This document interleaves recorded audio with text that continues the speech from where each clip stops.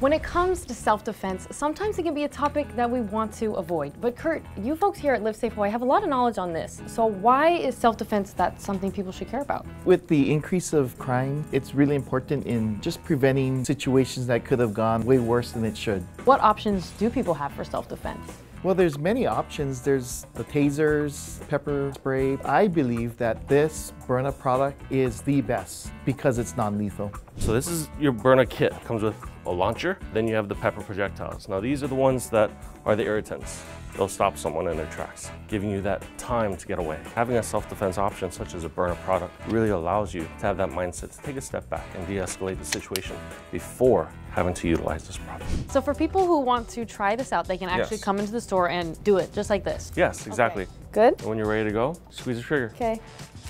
Unlike traditional tasers or pepper spray, you really have to be in close range. The assailant can literally grab that spray in one second. But with this, there's a 60 feet effective range and it's still gonna work. How would you suggest people become more prepared?